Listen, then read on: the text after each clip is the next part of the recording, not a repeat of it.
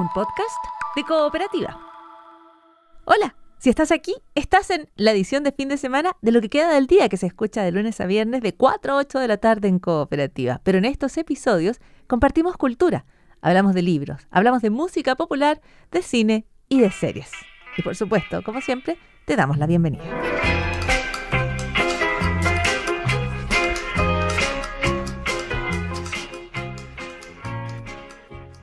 Don't you know, pump it up. You've got to pump it up. Don't you know, pump it up. You've got to pump it up. A esta hora de la tarde conversamos de series, de cine, de historias con Ángela Díaz. Hola Ángela. Rafita, animada escuchando esta canción porque me gustó muchísimo esta película. Oye, partamos hablando Bien de cine porque Vamos. La Sustancia, dirigida por Coralie Fargut de Reino Unido, que ganó el guion, el premio mejor guion en Cannes, eh, llega con todo a los cines chilenos el 18 de septiembre. Como vamos a estar en feriado, la vamos a adelantar para que lo tengan claro como panorama. Y nos trae de vuelta a Demi Moore, que está, pero increíble, increíble. La amé absolutamente, está espectacular. También está la Margaret Qualley, que es una excelente actriz, que también es hija de la Andy McDowell, y el Dennis White. Este trío son como los protagonistas principales de esta historia, que es lo más, em, creo yo, sorprendente que he visto este año, y este año ha existido cine de alto nivel, pero creo que es sorprendente en que nada de lo que yo pueda decirte, Rafa, te va a preparar para el festival de sentidos que despierta esta película, el body horror, este como horror corporal, las escenas eh, y la ciencia ficción en su mejor momento, contando una historia que, mm, bueno, creo que el simbolismo está súper claro, así como las cirugías o la gente que toma medicamentos para adelgazar. Esta es una sustancia, tal como dice su nombre, que promete que te va a convertir en ti, pero en una mejor versión.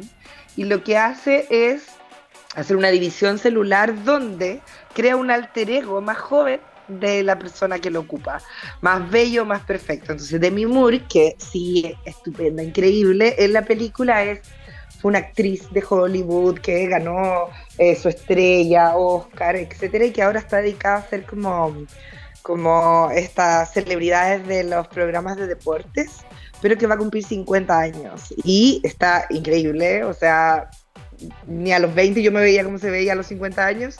Y eh, en el día de su cumpleaños eh, se entera de que la van a reemplazar por alguien más joven. Y ahí es donde ella eh, se encuentra con alguien que le ofrece esta sustancia que funciona a nivel full ciencia ficción. No es que ella rejuvenezca como en La muerte le sienta bien, sino que del cuerpo de ella, de ahí el, el body horror, sale la Margaret Qualley, esta actriz joven, preciosa, eh, que vive siete días su vida mientras ella está como eh, durmiendo y después duerme para que ella viva otros siete días y empiezan a intercambiar como la vida en estos siete días, pero claramente la metáfora es muy directa a todo lo que hacemos eh, los seres humanos por permanecer vigentes, por permanecer jóvenes, por permanecer bellos, pero muy relacionado en lo que implica ser joven, bello eh, y vigente, que es recibir afecto, pues, recibir valoración, que la gente te ame, que la gente te quiera, que la gente te celebre, todo.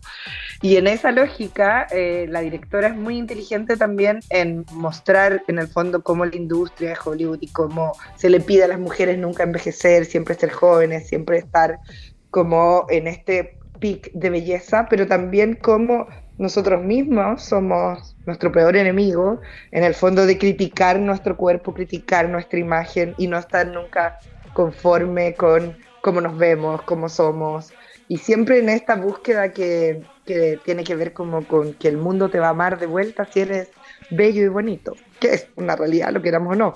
Entonces es una película que es muy graciosa, es muy eh, en algún momento violenta, en otros momentos sorprendente, tiene muchos giros, eh, también es sexy en varios momentos, pero que siempre te está en el fondo mostrando una realidad que ellas son preciosas, pero que es horrible, que es el culto a la belleza.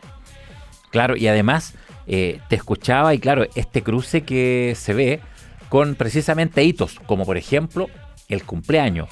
Eh, el cumpleaños asociado de pronto a un paso a otra década o, o alguna fecha en especial. Y ahí nacen precisamente estas preguntas o suelen llegar, como en el cine, estas noticias, digamos, de cambios de, de señales. Yo pensaba también, fíjate, como en las redes sociales, en los filtros, en el Photoshop, como cuando uno ve de repente, no sé, celebridades que yo encuentro que son así, perfectas de cuerpo y te muestran que la foto está trucada y uno dice, si Jennifer López truquea su foto, eh, si la modelo truquea la foto, ¿cómo es posible que eh, Ángela Díaz no, te- no caiga en la, la angustia de editar una foto? Y que tiene que ver con que finalmente este culto a la belleza se mete un poco en la cabeza nuestra. Hay una escena que a mí me pareció maravillosa y muy potente, donde ella se arregla para salir. Y yo vi y dije, ¡ay, qué increíble ser tan linda como Demi Moore! Pero ella se mira al espejo y ve un póster de su versión joven y se devuelve. Y se vuelve a maquillar y se vuelve a poner maquillaje, y después se tapa el escote. Porque en realidad, eh, si tú vives en esta falsedad de los filtros, de las fotos, de esta imagen inalcanzable de belleza, eh, nunca vas a estar conforme, pues y siempre vas a estar en el fondo como, como atracándote a ti misma. Y creo que lo más potente de la película es que en la lógica de ciencia ficción, tanto la versión joven como ella son la misma persona, pero se odian a sí misma porque no están nunca conformes y porque al final, a pesar de haberlo dado todo, a pesar de ser hermosa, o sea, yo miraba a Demi Moore que siempre ha sido bella, yo para mí es como Ghost, la sombra del amor, el Fire, pero la veía a sus 50 años y decía como, qué mujer más linda, pero claro, el mundo igual vuelve atrás como con estas fotos que aparecen como en internet de no puedes creer cómo está esta actriz y comparan, por ejemplo, una actriz de 40, 50 años con una foto de cuando tenía 20.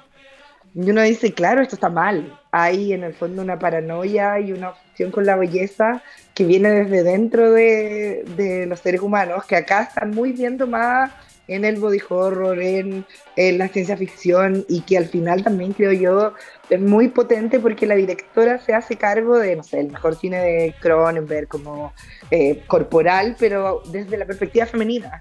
Porque siempre las mujeres han sido como los cuerpos que se transforman, pero acá la metamorfosis está desde ellas y dirigida por mujeres, entonces es muy como empoderante, creo yo, verlo y vernos al espejo con estas inseguridades que agarra esta película, que yo debo decir, es súper body horror, es súper terror, es súper ciencia ficción. Hay otra gente que dice, es fuerte. Yo diría que no es apta para um, estómagos eh, sensibles. Para la gente que ve Ah, sangre y colapsa, no es su tipo de película. Yo estaba como niña en una dulcería, feliz. Pero en un momento en la función alguien dijo, ay, ya, por favor, y le salió del alma. Como que siento Ah, que ya, como que no le pasen más cosas. digamos. Claro, porque físicamente empiezan a salir partes del cuerpo de otra actriz y eso es como muy potente para gente, pero está todo, es todo narrativamente correcto en la historia y es todo a favor de la historia, entonces es súper impresionante, pero es bien sangrienta, es bien explícita en lo, en lo físico. Oye, y, yo sé y que hay gente que, no, lo hace, no lo logra. Sí, la Demi Moore más encima, lo da todo. Claro. Ella en un momento se está duchando, yo digo como, wow, qué gran, como que entrega, porque ella genera un personaje que se ve vulnerable pero a la vez fuerte y está increíble. Yo nunca la había visto tan bien. Yo creo que ella es, este es como su papel de su vida. La encontré increíble, increíble. ¿Cuándo la podremos ver? El 18 de septiembre, Ah. las fiestas patrias, celebramos con buen cine. Llega el próximo jueves a los cines chilenos. Vamos a estar ahí entonces atentos y atentas a la sustancia, a buscarla ahí con, con Demi Moore. Oye, ¿y qué tenemos en plataformas, en streaming? ¿Qué tenemos para estos días? Mira, tengo una muy buena recomendación, creo yo, porque yo me pegué lo que se llama un atracón televisivo con esto. Es de Netflix, se llama La pareja perfecta. Es una miniserie de seis capítulos que yo le presté atención porque el título no me ticaba tanto porque está protagonizada por eh, Nicole Kidman, el Liv Schreiber y la Dakota Fanning. Entonces dije, oh, ellos tres haciendo televisión, interesante. Y me tiene, pero voy en el capítulo 4 y no puedo soltarla. Hoy día a las fue mi hijo al colegio a las 7 de la mañana y a las 7.05 le estaba poniendo play porque es demasiado entretenida. Porque es un. ¿Quién lo hizo? Es una, una. Este género donde en el fondo hay un asesinato en el primer capítulo y tú no sabes quién fue el asesino. Y la historia es- sigue. eh, eh, un matrimonio. Es Amelia, es una chica que está a punto de casarse con un millonario, con un cabro que tiene mucha plata, en una de las familias más ricas de Nantucket, donde la matriarca vendría siendo Nicole Kidman. Pero el día antes de la boda, no es que los gringos hacen como el ensayo de la boda, todo, tienen como varias etapas en las bodas, el día anterior eh, fallece alguien y aparece un cadáver el día de su boda, lo que hace que, por supuesto, se detenga la boda y no se realice, pero a la vez que todos los que estaban en esa fiesta sean sospechosos. Y es muy, muy, muy entretenido porque está lleno de personajes horrendos. Cuando yo digo horrendos, prefiero como gente con mucha plata, que es muy horrible, que trata a la policía como si fueran su- sus empleados y que a la vez tiene eh, hay mucho humor que está como en el subtexto de cómo tratan a la gente y cómo se refieren, por ejemplo, a la persona que falleció o a los posibles sospechosos, cómo guardan las apariencias. De hecho, el nombre La pareja perfecta podría encajar a cada uno de la serie, a los papás de los novios, a los novios. Es muy interesante, hay mucho secreto ahí. Y, y ahí uno empieza a descubrir quién engaña a quién con quién y empiezas, yo cada capítulo pienso que es otro el asesino y me parece demasiado entretenido, porque una miniserie, seis capítulos, un puro misterio. O sea, yo sé que voy a tener un desenlace en seis horas y que a la vez va a ser muy entretenido porque tiene un montón de actores muy buenos como Nicole Kidman, como Dakota Fanning, como Liz Cherry. Entonces al final uno está viendo como muy buenas actuaciones, pero con una historia muy atrapante porque uno se vuelve el detective uno empieza a adivinar quién fue eh, el, culpable y, por qué murió la persona que murió. Entonces, de verdad, es muy entretenido. Los capítulos duran menos de 50 minutos, como 46. Está en Netflix y es absolutamente recomendada como para atracón de, de fin de semana dieciochero, diría yo. No, de todas maneras. Oye, y además, tarde de actrices, diría alguien, ¿eh? con las protagonistas de, lo que estamos hablando. Eh, ¿En qué punto están, además de sus carreras, ya que estamos en eso, eh, Demi Moore, Nicole Kidman? Bueno, Nicole Kidman, yo siento que Demi Moore tuvo esta como eh, full 80, después como que desaparece y ahora este es como el gran regreso. Pero Nicole Kidman nunca se ha ido. Ella ha estado, o sea, en Big Little Lies, una serie de HBO, Anduin también otra serie de HBO, harta película también. Ella ha hecho película indie, película masiva, desde Mulan Rouge hasta cuando ganó el Oscar por las horas. Siento que Nicole Kidman es como de estas mujeres que trabaja mucho constantemente, que de hecho mi rollo ahora era como estar haciendo mucha tele, porque me aparece como en muchas series, y que tiene que ver como con su interés de seguir creando y permanecer vigente. Estaba presentando también una película en festivales, tuvo que retirarse antes porque falleció su madre. Eh, pero está absolutamente vigente en Hollywood y es como de las grandes actrices. Yo creo que ella es muy buena, es muy versátil, se atreve a hacer cosas como con, con directores más osados, pero también, también cosas más comerciales.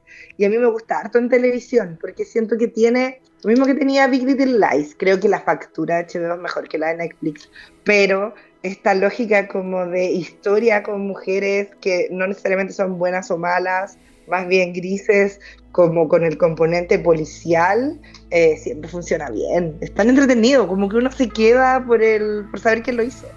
Esta lógica del Sherlock Holmes. Pero ambas están muy bien. Y ojo con como la gente nueva, me pasó con la Margaret Qualley, que yo la había visto en Once Upon a Time en Hollywood, también salía en Poor Things, tiene una serie que se llama Las cosas por limpiar muy bien y que acá está al lado de Demi Moore como la versión joven en la sustancia, increíble ella. O sea, aparte es muy talentosa, da muy buenos registros, puede verse en un minuto muy inocente y en un minuto muy violenta, muy buena actriz, muy, muy, muy buena actriz, y uno dice como, este es como el futuro. Lo mismo que pasa al ver a Dakota Fanning ya haciendo papel de mujer embarazada, casada, grande, yo entro en crisis porque para mí es la niña de hombre en llamas, para siempre.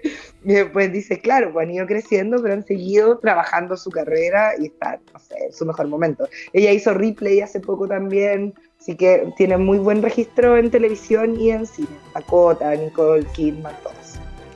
Ángela Díaz, hasta la próxima, que estés muy bien y tengas pero unas grandes fiestas patrias. Tú también, Rafita, que estés bien, chao. Vale, chao Ángela.